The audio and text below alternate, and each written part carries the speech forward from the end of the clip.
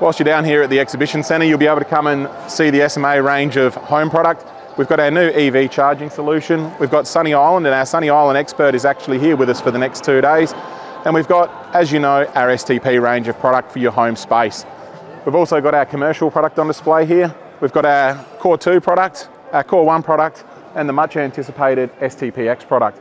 We've got our whole sales team down here at the moment, so come down to Energy Next over the next two days and come and have a chat to us about what our commercial product can do for your commercial requirements.